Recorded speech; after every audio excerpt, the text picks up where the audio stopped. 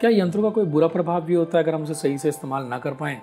या हमें कोई गलत यंत्र बता दिया जाए? हाँ बिल्कुल होता है। किसी भी चीज़ का हो, ये यंत्रों का ही नहीं है।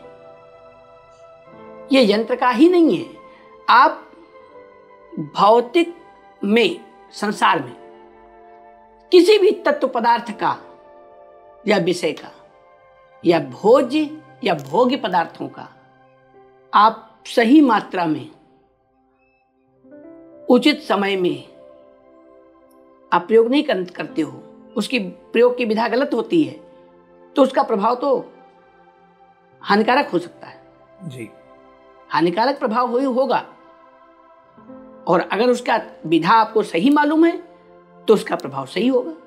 एक सर बात यह है कि मान लीजिए कोई यंत्र आपने किसी को पहना है कुछ यंत्र होते हैं जो आदमी गले में पहन लेते हैं या हाथ में पहनते हैं। और किसी कारण से वो यंत्र उतारने पड़ते हैं। मान लीजिए एयरपोर्ट पे गए सिक्योरिटी चेक में वो उतारना पड़ा तो क्या उसे दोबारा फिर पहना जा सकता है या फिर उसे शुद्ध करना पड़ेगा? यंत्र यदि आपने कोई माला धारण कर रखी है जी। जो किसी संत या महंत महात्मा के द्वारा सिद्ध साधक के द्वारा आपको दी गई है रुद्राज की माला है तुलसी की माला है अन्य किसी रत्नादि की मालाएँ हैं यदि किसी साधक ने संत ने सिद्ध ने गुरु ने ब्राह्मण ने आपको दिया है। तो वो हमेशा के लिए शुद्ध हैं पवित्र हैं वो खंडित नहीं होती।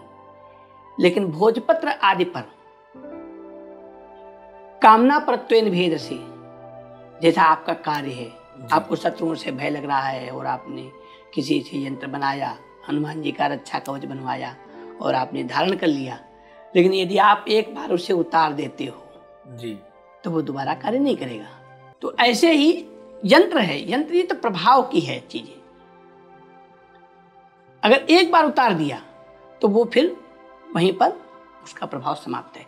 अब इसमें भी बहुत सारे लोग प्रथम दृष्टिया प्रथम बार वो सही बात को नहीं बताते।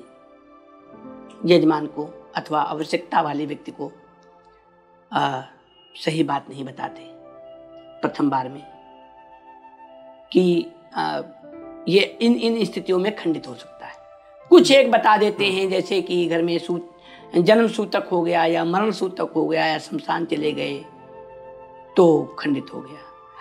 अगर आपने यंत्र कोई धारण कर रखा है और आपके मन में ये विचार आ जाए दो तीन बार, अरे मैंने पहन रखा, मुझे कोई लाभ नहीं हो रहा इससे। आप मान के चलिए, यंत्र में उस देवता का जिस ब्राह्मण ने बनाया है, उस देवता का मंत्र लिखा उस देवता की ड्यूटी लगा रखी। आप उसकी लिस्ट में हो। ये उसका अपमान हो गया और वो देवता वहीं से उसको छोड़ देगा। फिर आपको कोई भी प्रभाव नहीं दिखाएगा। इसलिए अविश्वास लाना भी जो है वहाँ पे, या अभ्याम बिना न प्रसन्नति श्रद्धा विश्वास भवानी शंकरो बंदे रामचरित मानस का पहला ही श्लोक वहाँ पे कह दिया कितना सटीक श्लोक है और ये चीज़ हर जगह के लिए लागू है। भवानी शंकरो बंदे श्रद्धा विश्वास रूप या अभ्याम बिना न प्रसन्नति सिद्धा स्वांतात्म तो श्रद्धा और विश्वास उसके प्रति होना चाहिए और यदि अविश्वास आ गया तो फिर वो देवता कार्य नहीं करेगा। रुष्ट भी हो सकता है बल्कि वो नुकसान भी पहुँचा सकता है। जी। यदि आपको लगता है कि ये यंत्र विशेष प्रभाव नहीं दिखा रहा है या कुछ है, आप उसे उतारें, प्रणाम करें। अभी तक आपकी बहुत बड़ी कृपा रही है। अब मैं आपको स्थान देने जा रहा हूँ, उसको किसी जलाशय में। ससम्मान, किसी पीपल के नीचे, आप उसे विसर्जित कर दें। लेकिन अपमान ना करें। चलिए सर, मुझे उम्मीद है कि हमारी व्यूअर्स को बहुत अच्छी जानकारी मिली होगी।